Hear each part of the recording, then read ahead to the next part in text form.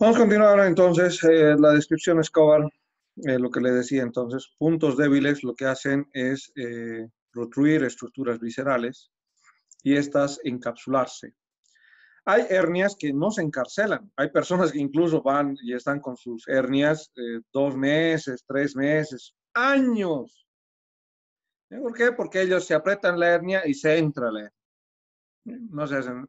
Pero va a llegar un momento determinado en que, imagínense la cantidad de alimento que ingieran, protruye la hernia y no vuelve a entrarse. Y va a producir necrosis, hay que operar y hay que sacar un pedazo de intestino. Eso para la descripción. ¿Está bien, Escobar?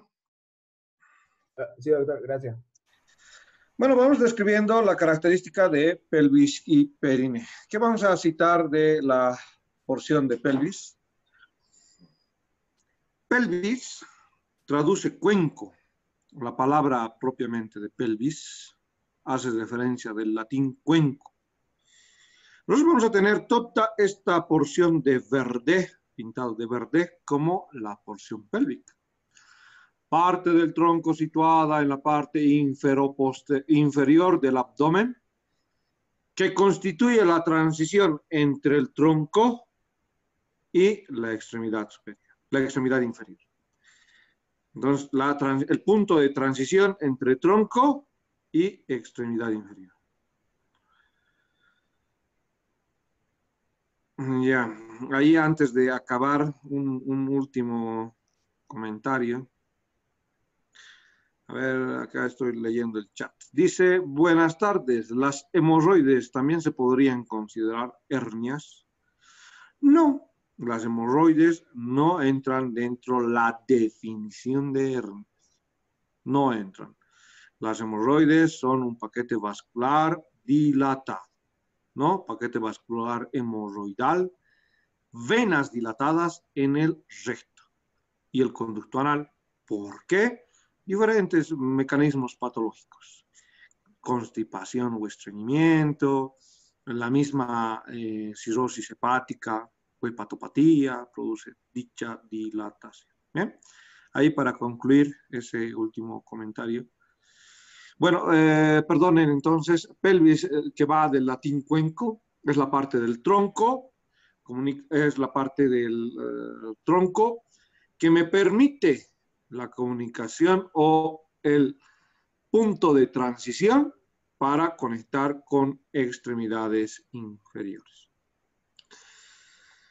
Si nosotros lo analizamos, es un compartimento también pelvis, un compartimento que va a estar delimitada y va a estar dividida en lo que se considera como la pelvis mayor y la pelvis menor.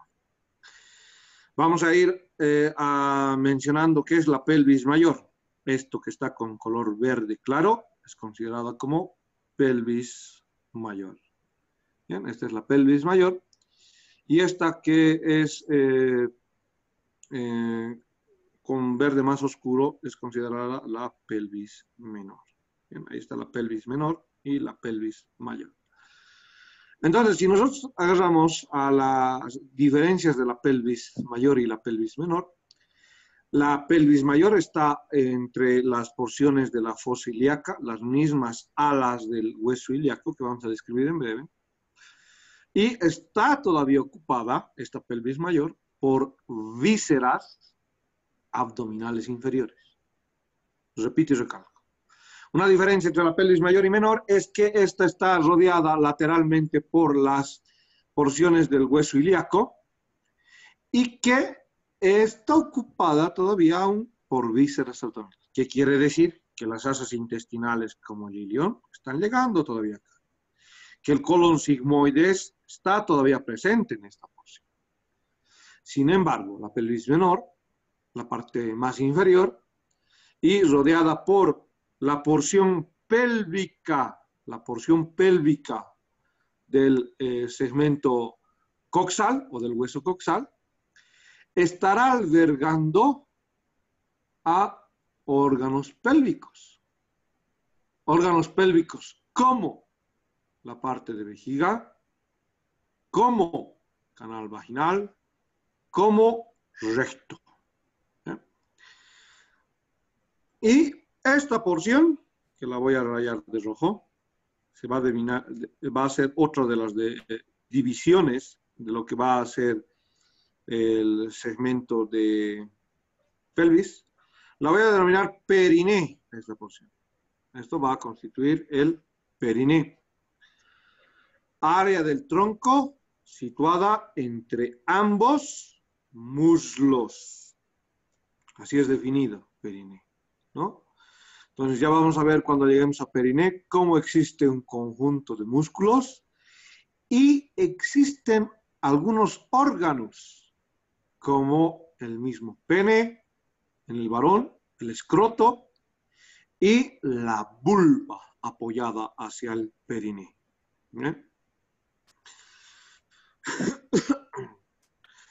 Acá otra de las menciones de, vista lateral, podemos ver los dos colores también. Ahí está, de verde claro, el, la pelvis mayor, y de verde más oscuro, la pelvis menor. Esta es una visión lateral. Por lo tanto, lo de rosado que está marcando la cavidad abdominal llega, vísceras llegan hasta la parte pélvica superior. ¿eh? ¿Qué más en relación al segmento? Acá está, ah, por eso, por eso esto de amarillo, por eso esto de amarillo. Esto se llama porción o cavidad abdominopélvica. Hasta esta línea, hasta este segmento, en la porción inferior del ilíaco y la porción superior del pubis.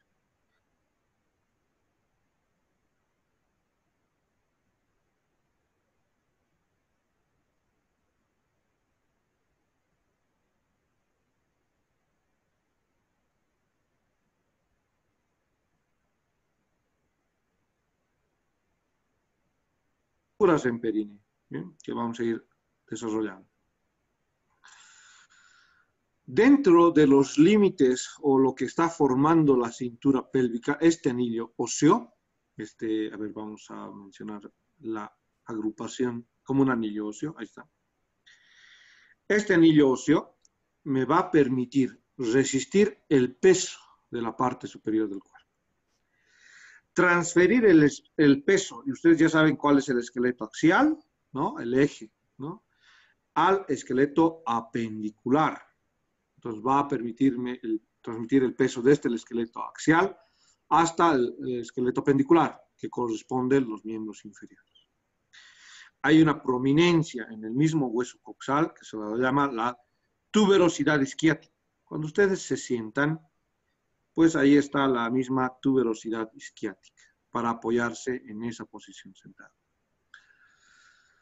Muy bien, acá eh, Um, dentro de otras de las funciones, además de ayudarme con la, con la bipedestación y con la marcha en la posición sentada y parada, eh, muchos de los músculos de extremidad inferior van a venir hasta insertarse a este segmento. Van a venir y van a hacer esto en inserción. Muchos de los músculos van a tomar los detalles anatómicos como el recto anterior del fémur, parte del cuádriceps, vamos a tener eh, que las ah, fibras del grasil van a venir a la porción del pubis y van a dirigirse hasta la tibia. Entonces, eh, pelvis me va a permitir, eh, uno, albergar las vísceras pélvicas. Va a permitir inserción de diferentes músculos incluidos los diseñados en periné. ¿No? ¿Cuáles son esos eh, en periné? Los músculos erectores. En mujer y varón hay cuerpo eréctil, genital externo. En varón, pene. En mujer, clítoris. ¿no? Para esto que representa el periné. Estos huesos coxales eh, tienen los, eh, eh, o esto que representa la pelvis, es un conjunto de articulaciones, entre esto que representa el sacro y acá está el hueso coxal, coxal del lado izquierdo, coxal del lado derecho. Esto es el coxal del lado derecho. Entonces, eh, el mismo hueso sacro tendrá los siguientes detalles anatómicos en una cara anterior y en una cara posterior. Acá vemos a la vértebra L, esto es L5, y esto representa el coxis. Ahí está el coxis. El coxis, esto representa el sacro.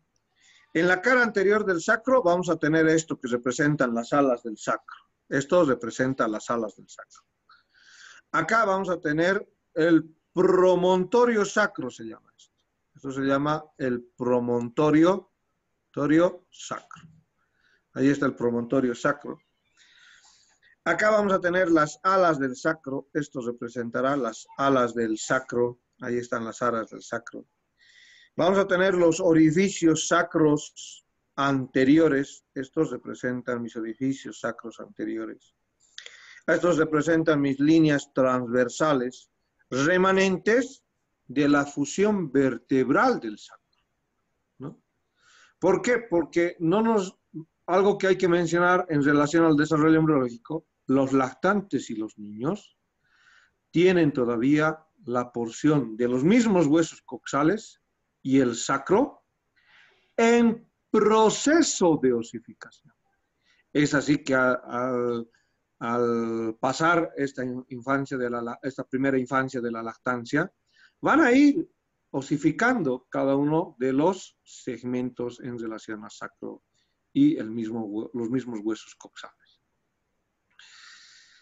¿Qué más en relación al hueso sacro? Acá vamos a tener eh, esto que representa eh, una cara lateral. Bien, acá está la carilla articular, esta es la carilla articular del sacro con el hueso coxal. Esta carilla articular que tiene la forma del pabellón auricular, por eso se llama cara auricular también. Y se puede ver de manera lateral, de mayor, con mayor notoriedad, el promontorio sacro. Promontorio sacro. Muy bien, acá tenemos eh, los procesos espinosos del, acá en una línea, en una imagen posterior, vamos a valorar. Tenemos esto que representa la cresta del sacro. Tenemos tres. La de color rojo representa la cresta media. La de color azul representa las crestas intermedias. Y la de color verde representa las crestas laterales rojo la cresta media, azul las intermedias y verde las crestas laterales. Esto de acá abajo representan las astas del sacro. Estas son las astas del sacro. Esto representa, este orificio representa el hiato sacro. Ahí estará el hiato, donde va a venir a terminar la caudequina. La caudequina o cola de caballo de la médula espinal. Eso que han debido describir en la anatomía 1 es que a la altura de L2 termina la constitución de la médula espinal entre sustancia gris y sustancia blanca y se organiza en fascículos nerviosos. Y esos fascículos nerviosos se proyectan hasta esto que es el conducto sacro. Muy bien, em, ¿qué más? Del anal sacro, acá eh, mencionar un poco de lo que representa el coxis. Estos son los procesos transversales del coxis, las astas del coxis y las líneas transversas del coxis. La fusión vertebral entre aproximadamente 3 a 4 vértebras. Eso representa coxis. Vamos a mencionar esto que representa los detalles anatómicos de cada uno de los huesos coxales. En su imagen, esta imagen que es la imagen medial o interna, esta es la imagen medial o interna. Y esta es la imagen eh, lateral o externa. Lateral o externa. ¿eh? Ahí está. Entonces, acá representemos las características del hueso coxal. En la cara interna mencionamos esta misma cara auricular que la hemos descrito en el hueso sacro. Se llama cara auricular por la forma del pabellón auricular. Esto es la cara auricular. A esto se llama la tuberosidad del ilion. Esa es la tuberosidad del ilion.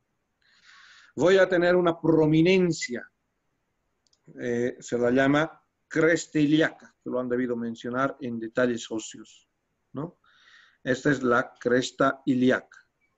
La cresta ilíaca va a tener, miren, esto que constituye el labio interno. En esta imagen interna voy a poder valorar el labio interno. Ahí está el labio interno. Voy a poder tener esto que se llama la espina ilíaca superior. Círculo negro, acá, alejando un poquito. Esto representa a la espina, espina ilíaca, ilíaca postero superior. Postero superior. Esta es la espina ilíaca postero superior. Vamos a tener otra espina por debajo, que es la espina ilíaca postero inferior. Aunque no lo señale Keimur, lo señala en la parte teórica. Eso hay que ver mucho para lo que representan detalles anatómicos. Esta es la espina ilíaca postero inferior. Entre las dos existe una escotadura, se llama escotadura ilíaca posterior. Es la escotadura ilíaca posterior. Estamos añadiendo algunos detalles anatómicos para que ustedes lo mencionen en la práctica.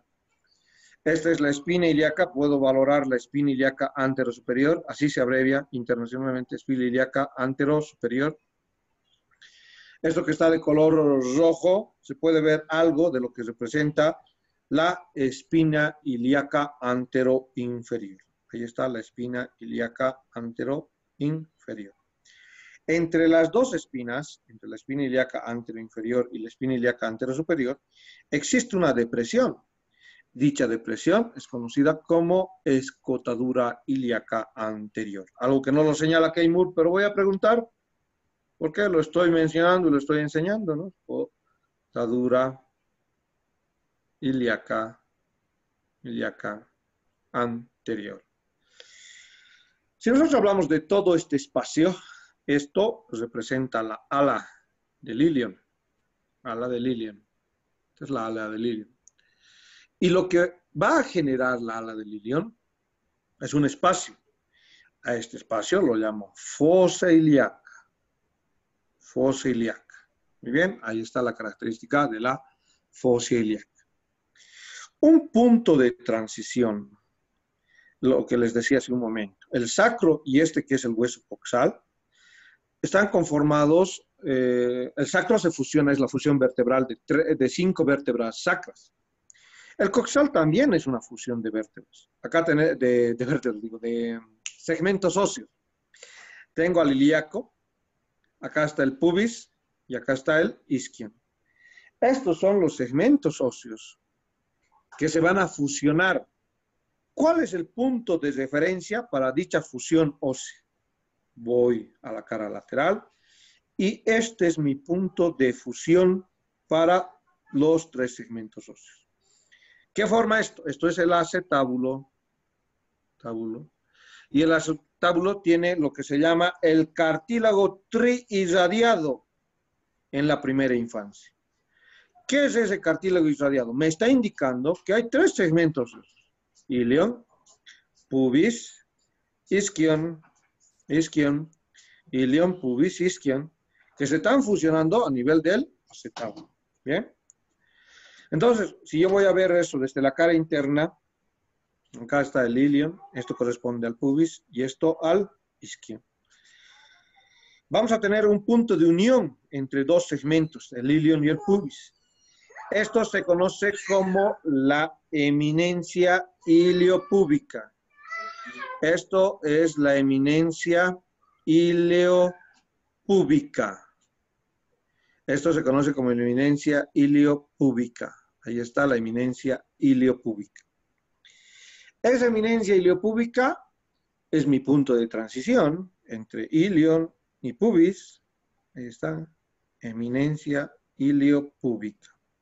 Punto de transición entre ilion y el pubis. Vamos a ver algunos detalles anatómicos del pubis en esta cara interna.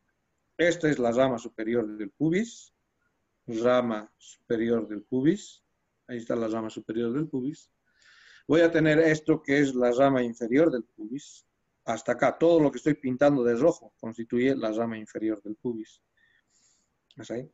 ¿Por qué? Porque esto de negro va a constituir la rama del isquion. Y los dos, negro y rojo, se conocen como la rama isquiopúbica. Los dos se conocen como la rama isquio-púbica. He aclarado, rojo rama eh, inferior del pubis, negro rama del isquio. Van a delimitar un foramen. Esto es el foramen obturado o obturador. Esto se llama foramen obturador o foramen obturado. Obturado. Bien, ahí está el foramen obturador o el foramen obturado. Hay una depresión, una muesca eh, que representa el eh, surco o la hendidura obturatriz. Acá vamos a tener una muesca por donde van a venir los, el paquete vascular nervioso. Esa muesca se conoce como la hendidura o incisura, incisura obturatriz. Obturatriz. Muy bien, acá en esta cara lateral lo que voy a poder ver es la cara articular del pubis. Todo esto que estoy pintando de negro representa la cara articular del pubis. Dígame, Carla Martínez Sánchez. Disculpe, doctor, eh, en la incisura obturatriz, ¿qué, qué, ¿qué paquete vascular nervioso pasa por ahí? Va, va a pasar el nervio obturador, la arteria obturatriz y la vena obturatriz. ¿Eh? Está bien, buena su pregunta. Va a pasar uno de los nervios, una de las ramas del nervio obturador. Eh, porque acá, este foramen, Carla Martínez, miren, si esta es la cara interna, si esta es la cara interna, lo que está de negro representa al músculo obturador interno retiro al obturador interno y desde esta porción se va a extender otro, se llama el obturador externo.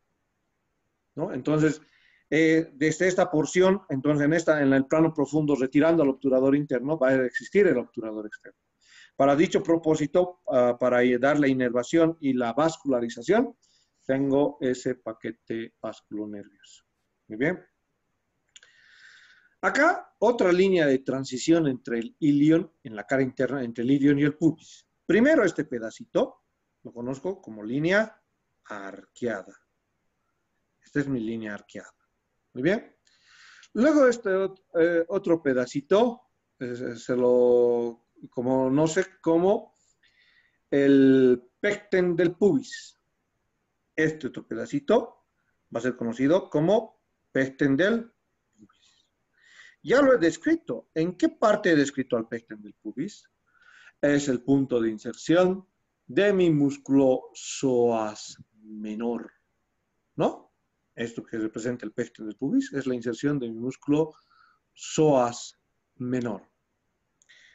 Acá, la parte más elevada del pubis se lo conoce como la cresta del pubis. Entonces, no es lo mismo decir pecten que cresta del pubis Ahí está la característica de la cresta del pubis. Hacia esta porción vamos a tener una tuberosidad, se llama tuberosidad isquiática, eh, vista desde la cara interna. Esta es la misma tuberosidad isquiática. Vamos a tener esto que se llama espina isquiática o espina ciática, también se la dice. Entonces, esta es la espina asiática o espina isquiática. Isquiática. Por debajo, la espina isquiática está generando dos escotaduras, una de color negro y otra de color rojo. La de color negro va a representar mi escotadura o incisura isquiática mayor. Escotadura o incisura, incisura, incisura isquiática mayor. Esto de rojo representa mi incisura isquiática menor. Esta es mi incisura isquiática menor. Menor. Justo por debajo de la carilla auricular voy a tener un surco subauricular. Nada que ver con el, la escotadura, eh, escotadura posterior. Acá estoy marcando. Justo por debajo de la carilla auricular existe la escotadura subauricular. Este puntito o esta línea roja está representando eso. Esos son mis detalles anatómicos en la cara interna. Voy a mencionar ahora la cara externa. Y de paso algunos. Rojo, cresta ilíaca. Negro, labio externo. Esto de color negro representa el labio externo de la cresta ilíaca. Coloquen nombre y grupo, coloquen nombre y grupo. Nombre y grupo, nombre y grupo, nombre y grupo. Hasta este huesito. Entonces, ¿y cuál va a ser la pregunta del día de hoy? La pregunta del día de hoy van a mencionar eh, los límites de la pelvis mayor y los límites de la pelvis menor. Entonces van a describir los límites de la pelvis mayor y los límites de la pelvis menor. Bien, entonces eso es su última pregunta para este trabajo que tienen como plazo hasta el día viernes, ¿no? Entonces ahí han, han visto el Moodle ya está el trabajo. Entonces añadimos eh, los límites de la pelvis mayor o falsa y los límites de la pelvis eh, verdadera. Aquellos que algunos han mandado ya el trabajo tendrán que mandar nuevamente porque ¿qué decía la primera pregunta?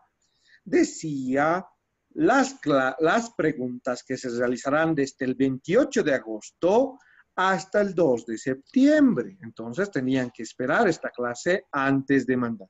Y si han mandado, tienen que volver a mandar. Pues. Pablo Sarsuri, dígame. Eh, doctor, casi me olvido. Eh, Valerie dijo que no iba a poder asistir a clases porque un familiar está hospitalizado y tuvo que ir de urgencia. Ya, lo voy a considerar. Me hace recuerdo en la práctica cuando le vuelva a llamar, por favor, ya. Está bien, doctor. Lo voy a tener, pero a veces en cuenta. Está la espina ilíaca, la espina ilíaca antero superior, negro. Eh, perdón, la espina ilíaca antero. La espina ilíaca postero, espina ilíaca postero superior, rojo. Negro recién, acá la espina ilíaca, espina ilíaca postero inferior, espina ilíaca posterior inferior. Y también se ve mi escotadura posterior. Esta depresión se conoce como escotadura posterior. Esta es mi escotadura ciática o isquiática mayor. Esta es mi escotadura ciática menor. Acá veo mi espina isquiática, lo mismo que hace un momento. Espina isquiática. ¿Qué es lo nuevo que veo acá? Además de haber citado las mismas estructuras. Aquí está la espina ilíaca anterosuperior antero superior, acá está la antero inferior, antero inferior. ¿Qué nuevo veo? Veo las líneas glúteas. Esto representa las líneas glúteas. Superior, media e inferior. Esas son mis líneas glúteas. ¿Por qué? Porque a esta cara se la conoce como cara glútea. A esa cara se la conoce como cara glútea. Hay una prominencia. Esto ya acabamos de describir, se llama acetábulo. Esto que no está detallado en Keimurt y es algo muy importante para los libros de traumatología, se llama pestaña acetabular. ¿Y por qué pestaña? Han visto que las pestañas son más prominentes, son levantadas sobre una cavidad o estructura entonces, esta pestaña acetabular está permitiendo que la cabeza, la cabeza del fémur se instale en esta cavidad. ¿Recuerdan la articulación del hombro? ¿Qué ligamentos hay para reforzar? Los glenohumerales. Hay el humeral transverso. El coracohumeral, ¿también recuerdan los tres ligamentos o no recuerdan la cápsula articular? La superficie de la, de la cabeza del húmero se desliza de la misma manera sobre la cavidad glenoidea de la escápula.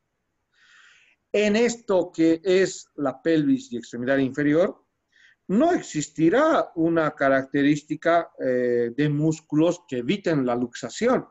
Recuerdan que la cabeza larga del bíceps braquial y la cabeza larga del tríceps braquial están ahí en esa misma articulación para evitar la luxación. Acá esta estructura ósea está diseñada para evitar dicha luxación. Pero es una estructura vulnerable y cuando hablamos de luxofractura de cadera, muchas veces esto puede estar fracturado, la pestaña acetabular. Muy bien, en esta misma cara podemos ver la mismísima eminencia ileopúbica. Vemos también esta porción que representa la cresta del pubis, la parte más elevada, ahí está. Esto representa la cresta del pubis. Acá está todo esto que estoy pintando de negro como la rama superior. Y todo lo que estoy pintando de amarillo representa la rama inferior del pubis. Amarillo se une con negro, con la rama del isquion, y forma mi rama isquiopúbica. Y de la misma manera puedo valorar mi foramen obturador. Puedo valorar de mejor manera esta que es mi tuberosidad, tuberosidad, tuberosidad isquiática. ¿No? Ahí está la tuberosidad isquiática. Entonces, eh, dentro de estas, eh, esos son los detalles anatómicos para citar. Algunos están en la teórica de Keymur, algunos están en la imagen y algunos hemos aportado en relación a otras bibliografías. Cuando, para, ¿Para qué me va a interesar describir los huesos coxales y la misma porción del hueso sacro? Puedo valorar aquí todos los detalles anatómicos que voy a aprender. Acá están las alas del sacro, acá están las alas del sacro.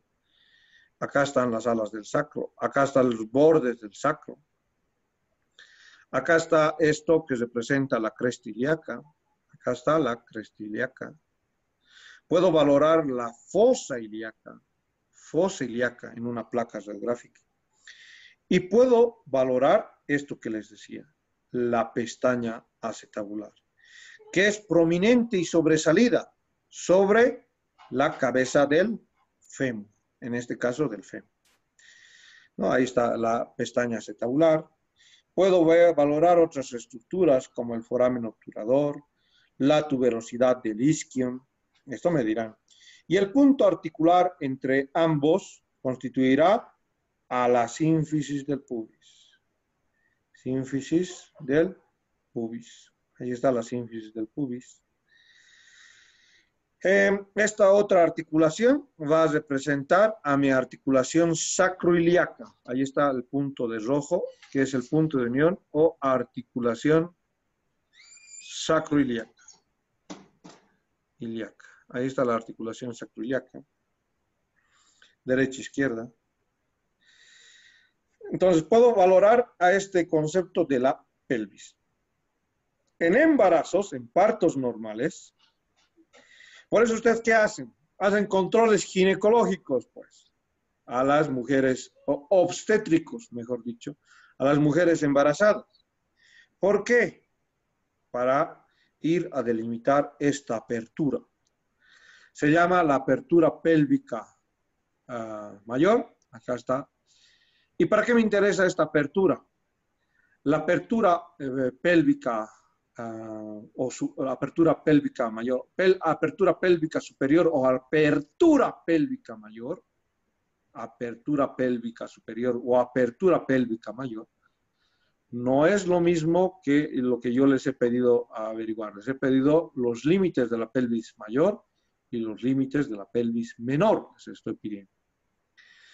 Esto que es la apertura de la pelvis superior tiene que ser valorado. ¿Cuándo?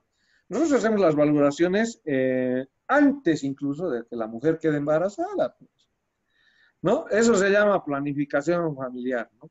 Entre tales meses, entre un mes, eh, entre el mes de marzo, abril, mayo, se va a poner a, a la pareja a realizar justamente las características de planificación en, el mismo, en la misma cópula para su reproducción. Entonces, si se organizan en enero, febrero, marzo, ¿eh? vamos a tener entre estos tres. Antes de realizar eso, qué ideal que la mujer venga a hacerse sacar una placa geográfica. ¿Para qué? Existen diferencias entre lo que es la pelvis masculina la pelvis femenina. De esas diferencias ya estaremos hablando. Esta es una pelvis masculina, Esta es una pelvis masculina y esta es una pelvis femenina. ¿Cuáles son esas diferencias y por qué me interesa? Hay pelvis ginecoides, pelvis androides, pelvis platipoides. ¿Y por qué me interesan esas diferencias? Si la mujer tiene una pelvis